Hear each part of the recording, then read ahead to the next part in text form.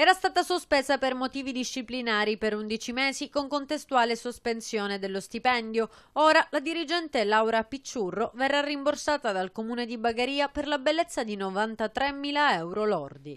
La vicenda, da mesi al centro dell'attenzione delle varie procure, tra le quali quella termitana, pone sotto i riflettori il sindaco Patrizio Cinque. Sarebbe stato proprio quest'ultimo a decidere di sospendere la burocrate per quasi un anno dal suo incarico. Dal marzo 2015, infatti, Infatti, la Picciurro avrebbe ricevuto 13 contestazioni, dalle quali sarebbero scaturiti 4 provvedimenti di sospensione con conseguenziale blocco dello stipendio. Per il Tribunale del Lavoro di Palermo, però, la decisione del primo cittadino sarebbe illegittima.